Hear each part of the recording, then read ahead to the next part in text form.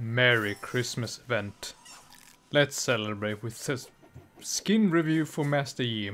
But I'm not entirely sure what this one is called because it was only written out in the shop and not in the client. But I think it's Snowman.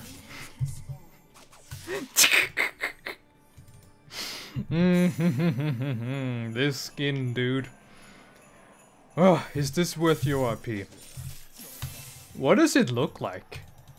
Like, what kind of bizarre taste do you need to have if you look at this and go like, oh man, I don't want this. It's Master Yi as a snowman, sort of. His sword is a big ass carrot with ice on top of it.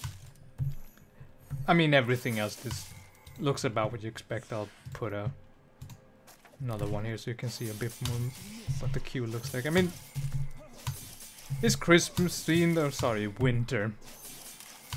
And his heal does this force field, which looks a lot better. I don't know about this. Is just a little icier. And his ultimate isn't all that spectacular effect-wise, but I like it. Still, you can still tell it it's going off. Except maybe if you're in Winter Summoner's Rift, because it probably blends in. But I like this skin. Problem is, I don't use Master Yi. so you should probably take everything I say with a grain of salt. Still, I love this skin. Buy it. Thank you so much for watching. I'll see you next time.